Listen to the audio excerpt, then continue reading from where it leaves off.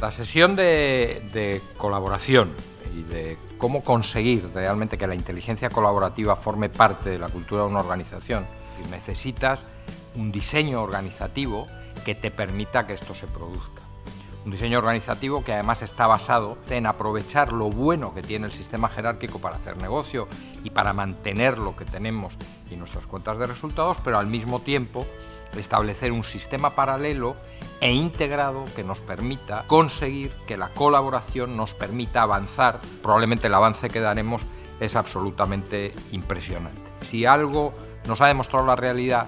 es que cuando una organización es más inteligente que otra, cuando todos sus cerebros se unen y consiguen hacer algo juntos, pues las posibilidades de cambio y por lo tanto las posibilidades de triunfar son muchísimo más elevadas.